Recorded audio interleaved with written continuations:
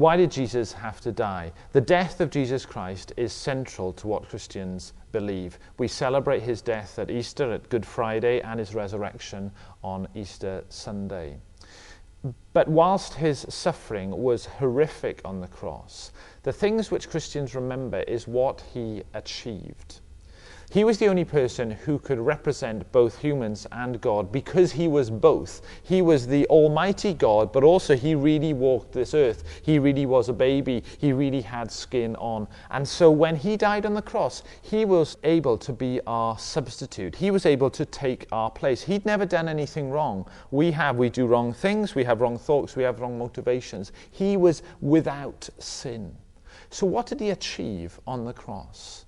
Well, naturally, we are guilty before God because of the wrong things that we have done. But by trusting in Him, even though He was not guilty, we can be in Him. We can be part of His family, and God looks at us now as not guilty. It's the great exchange where His uh, goodness, His righteousness is transferred onto us so that we are free, we are innocent. Because of our guilt, because God is just as well as loving, we are under his wrath. The wrong things that we've done and said need to be punished. That's only fair, isn't it? And yet, by Jesus taking the wrath of God, we can become now children of God. Jesus cried out, Father, my God, why have you forsaken me? Why have you left me? This is the first time in the history of the universe where God was separated. Um, the father and son were separated.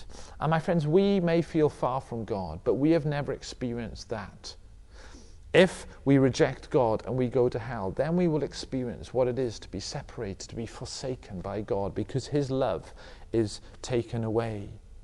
But by Jesus taking uh, our wrath, the wrath that we deserve, we can be God's children. We can be loved and be part of His family.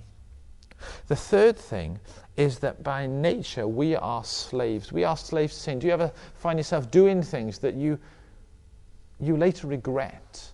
Or even before you think, I'm never going to do that, and then you end up doing it. That's because we are wired to be selfish. We are wired to do things that we really don't want to do. Yes, we, we can do some good things as well. But when Jesus died on the cross, he releases us from this slavery. There's the picture of the Israelites, God's people in the Old Testament. They were slaves in Egypt, they were oppressed.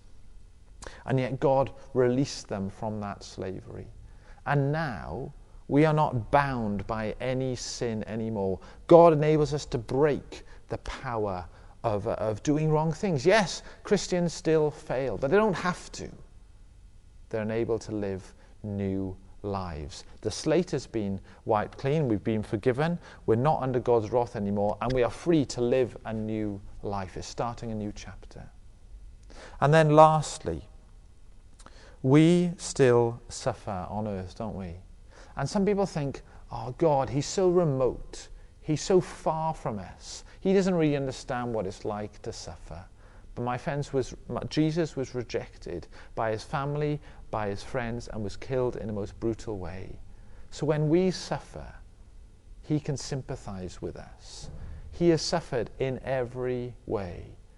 But not only that, not only, he can, not only can he help us in our suffering, but he can give us hope.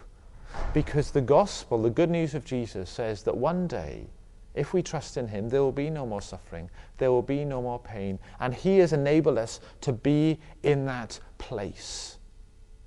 So trust Him, my friends. Why did Jesus have to die? Because He was the only person who could be our substitute, He was the only person who could rescue us.